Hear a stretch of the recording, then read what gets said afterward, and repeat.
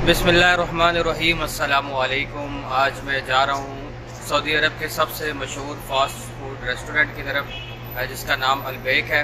और कई सालों से इसको कोई भी रेस्टोरेंट हालाँकि के एफ़ सी और मैकडोनल्ड जैसे बड़े बड़े ब्रांड भी इसको बीट नहीं कर सके। और इनकी एक आउटलेट की सेल आलमोस्ट किसी भी बड़े बड़े रेस्टोरेंट्स का मुकाबला नहीं कर सकती। तो इसकी इस रेस्टोरेंट में क्या खासियत है? यहाँ पर पहले अलबेक लूँगा और इन उस खाकर आपके साथ एक्सपीरियंस भी शेयर करूँगा। और इसकी पीछे इनकी कामयाबी का क्या राज है? ये रेस्टोरेंट कब ओपन हुआ? ये तमाम तर चीज़ तमाम डिटेल्स आपको इस वीडियो में बताऊँगा। तो वीडियो को एंड तक देखिएगा और मेरे साथ रहिएगा और मेरे चैनल को भी सब्सक्राइब कीजिएगा। तो चलते हैं अलबेक रेस्टोरेंट की तरफ़।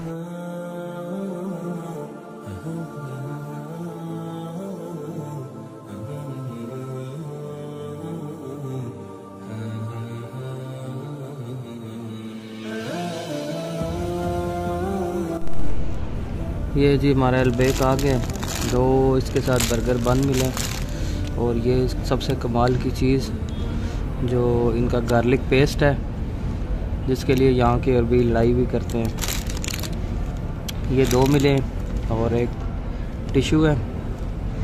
ये रिफ्रेशिंग टिश्यूज़ हैं, खुशबू वाले और ये एक कैचअप दी है साथ इन्होंने। और मैंने लिए हैं जी स्पाइसी अलबेक के नगेट्स तो अभी इंजॉय करते हैं इन अल्लाह ताला का नाम लेके।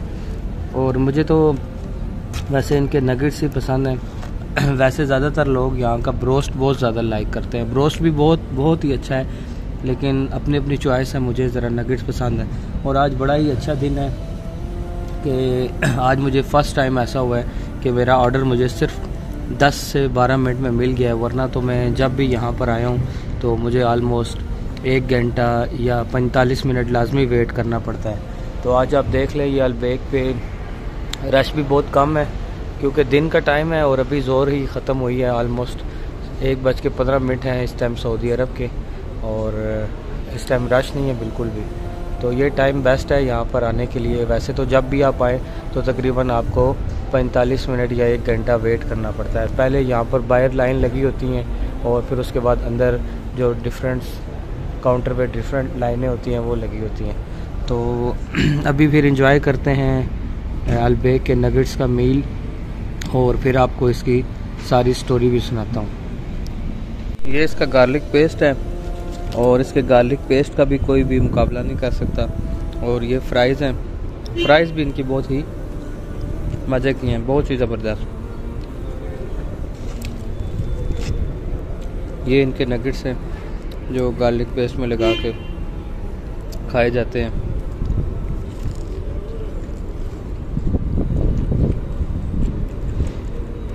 और ये देख रहे हैं आप, मसाला इनके अंदर तक गया हुआ है। क्या ही मज़ा आ रहा है मुझे। उम्मीद करता हूँ कि आपके भी मुँह में पानी आ रहा होगा इस टाइम और ये देखें, जो स्पाइस है, इसके बिल्कुल अंदर तक गया हुआ है नगेट के। चलें, अब आपको इसकी स्टोरी भी सुनाता हूँ और आपको ये भी बताता हूँ कि क्या वजह है कि अलबेक जो है वो इतना ज़्यादा कामयाब क्यों है दूसरे बड़े बड़े फास्ट फ़ूड रेस्टोरेंट्स के मुकाबले में। सबसे पहले आपको बताता हूँ कि जद्दा में 1974 में एक फ़लस्तनी शहरी था जिसका नाम अबू गज़ाला था, शकूर अबू गज़ाला। तो उसने एक रेस्टोरेंट बनाया जिसका नाम रोज़ रेस्टोरेंट था। वो उसका रेस्टोरेंट बहुत अच्छा चला और काफ़ी अच्छी सेल्स होती थी उसकी। उसकी कामयाबी के बाद उसने एक और ब्रांच बना ली जद्दा में और वो भी काफ़ी ज़्यादा अच्छा चलना शुरू हो गया रेस्टोरेंट। तो इस दूसरे रेस्टोरेंट जब उसने ओपन किया तो उसके छः माह बाद ही तकरीबन वो फोत हो गया। इसकी डेथ के बाद इसके बड़े बेटे एहसान अबू गजाला ने इसके कारोबार को संभाल लिया और उस वक्त उसका नाम रोज़ रेस्टोरेंट ही था, अलबेक नहीं था। तो आस्ता आस्ता इसका जो रेस्टोरेंट है वो लॉस में जाना शुरू हो गया और उसको काफ़ी नुकसान होना शुरू हो गया। तो उसने अपने फिर छोटे भाई जिसका नाम रैमी था उसने उसको कारोबार की निगरानी दी और ख़ुद को, ख़ुद जो है वो रेस्टोरेंट को पढ़ने के लिए और फास्ट फ़ूड को पढ़ने के लिए वो फ्रांस चला गया। तो दो तक, दो साल तक उसने फ्रांस में जो है वो ये फ़ूड का काम सीखा, उसको स्टडी किया और जब वो फ्रांस से वापस आया तो उसने फ्रांस से आकर एक 19 मसालों की जो है ना वो एक सीक्रेट रेसिपी तैयार कर ली, जिसने, जो एक ख़ास किस्म की रेसिपी थी। और उस रेसिपी से उसने एक ख़ास किस्म का ब्रोस तैयार कर लिया। और इस रेसिपी के साथ साथ उसने एक बहुत स्पेशल किस्म का गार्लिक पेस्ट भी जो है वो तैयार किया जो वो इस ब्रोस्ट के साथ दिया करता था। तो उस रेसिपी की वजह से और इस ब्रोस्ट की वजह से जो है ना इनकी कारोबार और सेल्स में बहुत ज़्यादा इजाफा होना शुरू हो गया। लोगों को ये बहुत ज़्यादा पसंद आया इसकी रेसिपी और इसका ब्रोस्ट भी और गार्लिक पेस्ट भी। और फिर इसने मुख्तलिफ़ जगह पर जद्दा में इसकी ब्रांचेस खोलना शुरू कर दी और रेस्टोरेंट का नाम भी चेंज करके पहली दफ़ा उसने अलबेक रखा। पहले उसका रोज़ रेस्टोरेंट था, फिर उन्होंने अलबेक रेस्टोरेंट जो है ना, इसका नाम रख लिया। और इसका जो डिज़ाइन है, लोगों का डिज़ाइन वो भी इसकी वाइफ लैला ने डिज़ाइन किया था। और दिन ब दिन इनकी सेल्स में इजाफा होता जा रहा था और लोगों की जो है वो तादाद जो है वो दिन ब दिन बढ़ती जा रही थी सेल्स इनकी बढ़ती जा रही थी तो इन्होंने मज़ीद इसकी ब्रांचेस खोलना शुरू कर दी। 1990 में ही सिर्फ़ जद्दा में इसकी 40 ब्रांचें बन चुकी थी और आस्ता आस्ता फिर इन्होंने पूरे सऊदी अरब में जो है ना इसकी ब्रांचेस खोलना शुरू कर दी। आज भी बड़े बड़े जो फास्ट फ़ूड के रेस्टोरेंट, रेस्टोरेंट्स हैं, जिस तरह के एफ़ सी है मैकडोनल्ड हैं और बाकी बर्गर किंग और दूसरे बड़े रेस्टोरेंट्स हैं वो अभी भी जो है ना अलबैग को टक्कर नहीं दे सकते। इवन के जहाँ पर अलबैग की एक आउटलेट बनी होती है तो बाकी जो बड़े रेस्टोरेंट्स हैं वो भी कोशिश करते हैं कि इनकी आउटलेट के करीब करीब जो है ना वो कोई भी ब्रांच ना ओपन की जाए क्योंकि उनकी बहुत ज़्यादा सेल दूसरे रेस्टोरेंट्स की मुतासर होती है। तो ये थी इनकी छोटी सी स्टोरी अब आपको बताता हूँ कि अलबैग की मकबूलियत की वजह क्या है।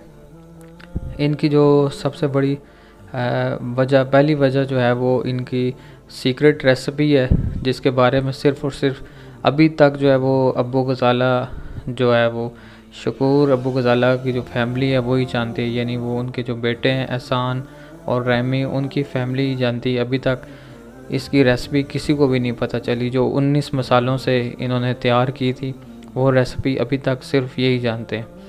और इसके साथ साथ जो इसके वालिद थे अबू शकूर, अबू गज़ाला जो शकूर थे, वो जब इन्होंने रेस्टोरेंट ओपन किया था तो वो अल्लाह ताला के राह में जो है वो सदका दिया करते थे।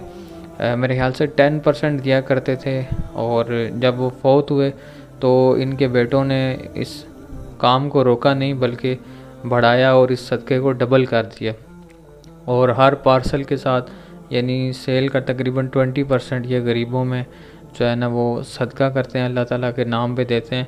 इसी वजह से इनकी कारोबार में इतनी ज़्यादा बरकत है।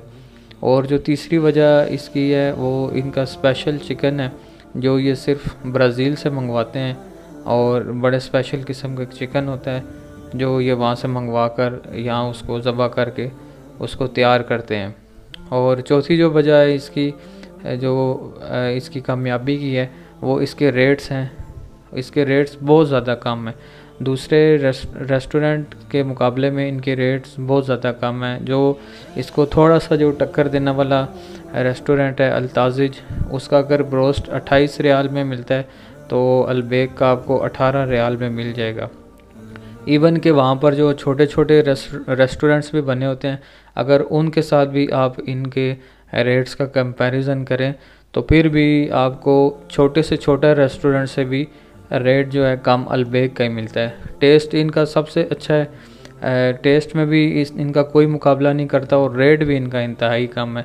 यही वजह है कि अलबेग के हर आउटलेट के ऊपर जब भी आप चले जाएँ, आपको तकरीबन एक घंटा तो मस्ट है कि आपको एक घंटे से पहले ऑर्डर मिले। इतनी ज़्यादा रश होती है। और यही पॉइंट्स जो है ना, इनकी मेन कामयाबी के पॉइंट्स हैं। एक तो ये अल्लाह ताला के नाम पे सदका भी करते हैं। और इनके रेट्स भी बहुत कम है, गरीब से गरीब भी खाता है और अमीर से अमीर भी खाता है। तो उम्मीद करता हूँ कि आपको आज की वीडियो पसंद आई होगी। मेरे यूट्यूब चैनल को सब्सक्राइब कीजिएगा और वीडियो को शेयर कीजिएगा। मिलूँगा इंशाल्लाह आपसे नेक्स्ट वीडियो में। तब तक के लिए अल्लाह हाफिज़।